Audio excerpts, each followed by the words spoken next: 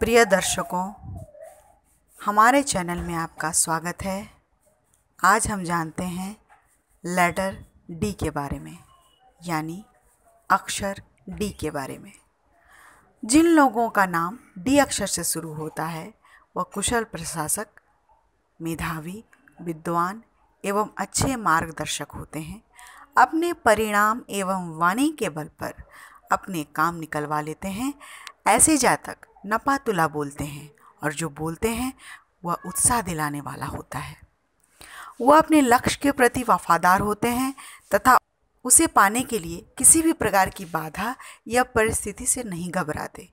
ऐसे जातकों को अपने मान सम्मान की बड़ी फ़िक्र होती है और यदि कोई उनका अपमान कर दे तो यह तिलमिला उठते हैं। ऐसे व्यक्ति कम बोलने वाले मिष्टभाषी होते हैं, अपने विचारों पर अडिग रहते हैं। प्रबल, आत्मविश्वासी, वचन के पक्के, जिम्मेदार व्यक्ति होते हैं। मान प्रतिष्ठा को बहुत महत्व देते हैं। अगर मान प्रतिष्ठा प्राण देकर भी बनी रह सके तो ये चूकते नहीं। सफल प्रशासक, कुशल नेता, कर्मठ एवं त्यागी होते हैं। ऐसे जातक अत्यधिक मिलनसार होते हैं। तथा आत्मविश्वास इनमें कूट कूट कर भरा होता है। ऐसे जातक विनम्रता का दिखावा करते हैं, परंतु आचरण एवं व्यवहार में भिन्नता होती है। ऐसे लोग किसी भी बात पर सहज विश्वास नहीं करते और ना ही किसी के अंधे भक्त होते हैं। ये कहने को तो सबकी हाँ में हाँ मिलाते हैं, परंतु करते वही हैं जो इनका दिल चाहता है।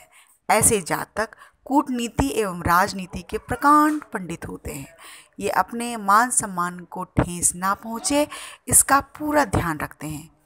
ये अपने विपरीत के सहयोग से आगे बढ़ते हैं। डी, संतुलन का परिचायक है। इन लोगों की इच्छा शक्ति बेहद मज़बूत होती है और वे बेहद ज़िद्दी प्रवृत्ति के भी होते हैं। व्यापार में ये लोग सफल साबित होते हैं और किसी भी रूप में समझौता नहीं करते हैं। तो दर्शकों, अगर आपको हमारा चैनल पसंद आया तो प्लीज़ इसे सब्सक्राइब करना ना भूलें। धन्यवाद।